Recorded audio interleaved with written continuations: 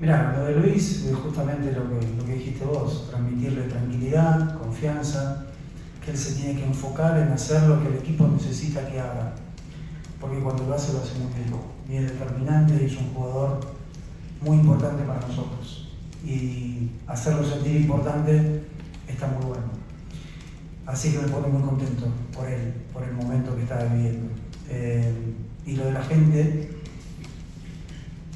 eh, ya, desde el vamos ya sabíamos que iba a estar la cancha llena, que iba a haber un show en el medio tiempo.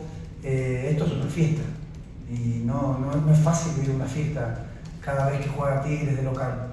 Y con nuestra gente y con nuestro trabajo podemos vivir una fiesta cada fin de semana si Dios quiere. Eso es lo que queremos para nuestra afición, que vengan contentos, que vengan a vivir una fiesta y que no tengan dudas que el equipo dentro de la cancha se va a entregar al máximo para hacerlos felices.